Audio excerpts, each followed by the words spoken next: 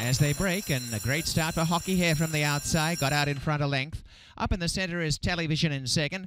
And running through to second now gets Saucy on the inside in search of the lead. But getting across a little bit closer to the rail. Hockey Hair on the inside gets Saucy. In third placing Television, shading Callan in the centre.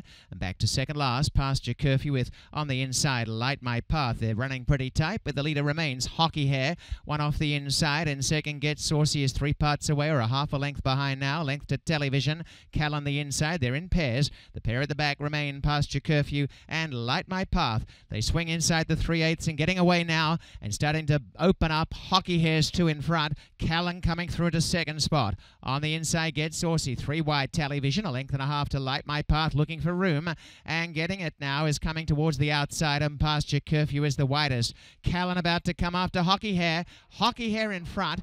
In second, Callan ranging up, trying to gather momentum. And down in the centre, Light My Path finishing pretty well. Callan attacking now. Hockey Hair in front. Callan the outside. They're stride to stride, but Callan gradually. Light My Path had to angle out, but Callan the winner.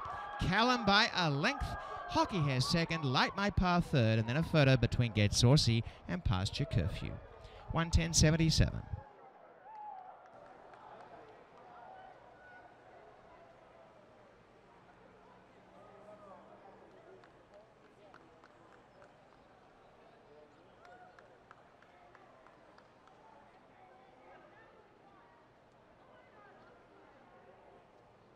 Siamo